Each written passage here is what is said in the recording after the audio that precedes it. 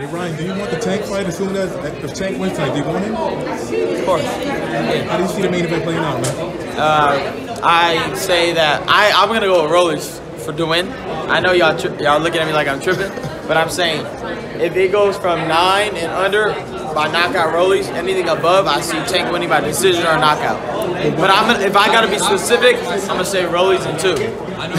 So got you. What's up? Come at me when, when it happens. All right, when it happens, I need you to re- replay this, and if it don't happen, you can clown my shit. If, if, it, if it was up to you, would you rather fight Tank or would you rather fight Cruz? I you really I don't give a fuck. Anybody? Whoever.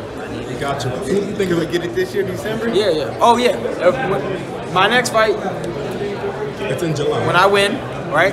Can you tell us who And? Tank wins, I'll go at I'll, I'll go at uh I'll go at Tank for sure. Thank you. Promise that. Thank you, Ryan. Appreciate it, man.